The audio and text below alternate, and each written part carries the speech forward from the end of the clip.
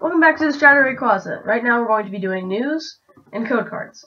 If you want to see the code cards and you don't care anything about the news, skip the news. For all I care, you probably just want these. Now if you want to hear the news and the code cards, you still will probably get both, just don't skip anything. First off, video. When I'm videotaping myself open Pokemon cards, which I've only done once, it's like me opening them, looking at them, putting them here. Me opening them, looking at them, taking the code card out, putting it there for later, and then putting them here. It's terrible. It's completely terrible. I'm so sorry that you had to watch a video like that, which was actually the last video I made, which I'll explain more about. Um, but I need my video camera. This little thing right here is so old that even Movie Maker won't support its stupid files. Now, it's not like it won't it won't give me picture. It will give me sound though. I've tried everything. I've tried converting files. Don't give me your um, explanations and stuff and how to do it because I've tried everything and the only thing that works is downloading the software and I'm gonna research it. And don't worry, once I find it, we will have regular, normal opening packs, not the crappy version that I had to do. Now, as for now, though, you're probably going to have to deal with that one video that I made of me opening packs. Now, we're actually going to talk about that video. Um, it was about two hours ago when I made it, and I opened four booster packs. Three of them which were XY Furious Fists, one of them was Legendary Treasures. Yes, I did mention that I weigh it, but I weighed it incorrectly. See, I used this kind of this kind of scale. Uh, problem with this is that it doesn't have a decimal point, meaning you need to see in the decimals to be able to weigh booster packs. We were completely lucky, guys, meaning that I just picked, after I was done because I realized that this wasn't working, this thing was basically garbage for weighing booster packs. For weighing kitchen stuff, it's totally great.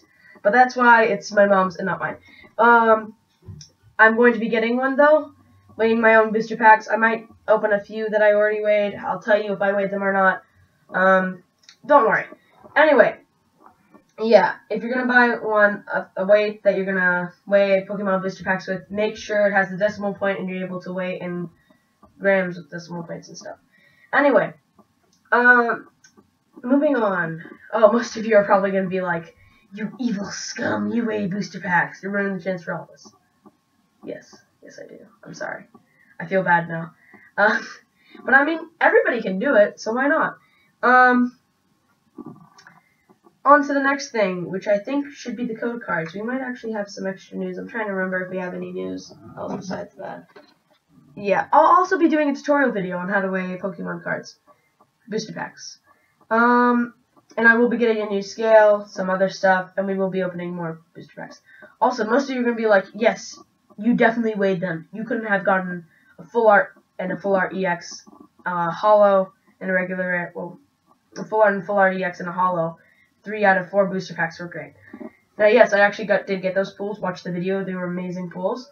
But um, no, I did not weigh them the correct way. I just grabbed six, four off the shelf, I think, actually, and took them back home and opened them. And we got amazing pulls. Watch that video. Um, now for the code cards. We're gonna do the first one: XY Furious Fists. Enjoy about those cards, though. Probably got some awesome pulls in there too. Another XY Furious Fists. And yet another XY Furious Fists. And another. And Legendary Treasures. And a Legendary Treasures. And if you're wondering, no, I did not use any of these codes. And a Primal Clash. Um, but I still do play the game. The problem with um having a YouTube channel and playing the game at the same time when you're giving away codes, you don't get to keep them all for yourself. But when I um wasn't playing the game, right? More news. Sorry. Um, I'm just rambling now. When I wasn't playing the game and I was opening booster packs, I always kept all my codes in my drawer, and I had like a stack of them this big. And I didn't have a YouTube channel when I redeemed them all, but I just went crazy one day and redeemed every single one.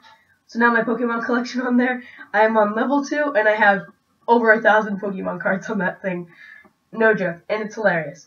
Um, another thing though, video. Yes, the video will be working very soon. Don't worry, and we will also be putting me opening an Elite Trainer booster box.